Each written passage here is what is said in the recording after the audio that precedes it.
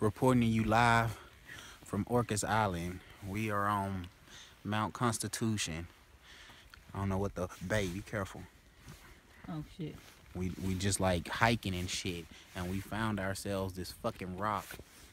Mind you, we're above the fucking clouds. Like you can't see shit behind me because we are like that high up in terms of elevation. Um, and I'm scared of heights. But like since we've been hiking, I've been managing to like find my my way to like the edge of shit. Uh, just testing myself.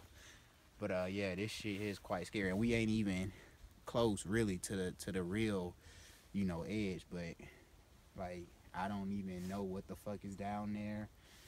But we just had to capture that shit on film because this shit is unbelievable.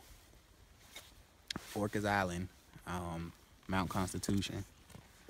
Check it out, for real.